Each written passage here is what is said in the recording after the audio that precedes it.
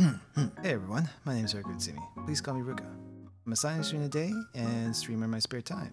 Outside of streaming, I like to cook, travel, and take lots and lots of pictures.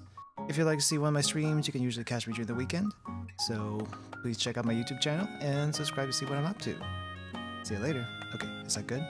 Did I finally get that?